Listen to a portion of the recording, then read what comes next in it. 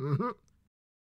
Are you tired of creating a sticker of a brand you like? I've been trying to create a sticker for a while, but I couldn't because I don't even have a skill Well, player, it. have you ever heard of AL2009 Man's custom sticker collection? Custom sticker collection sounds very generic, but I should check it out. G- give me a sec.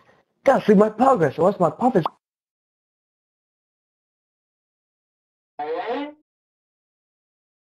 The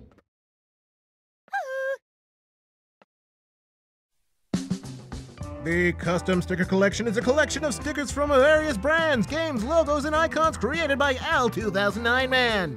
Unlike other sticker giveaways, every sticker has been recreated using HD sticker import to ensure quality and accuracy. And some of the stickers are nearly identical to the actual thing.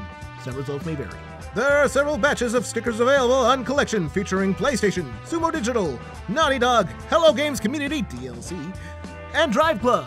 Sub stickers, alternative stickers, stickers with different styles and colors, and more than 110 stickers currently available.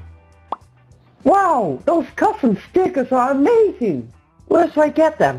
You can get those stickers right now on Little Big Planet 3 on your PlayStation consoles. Just simply search it up on the search bar or look up lbp.me. Is it free? Yes! Can I put it in the wall? Yes! Can I put it in my level? Yes! Can I put it in my prize bubble for my level with any proper credit? No.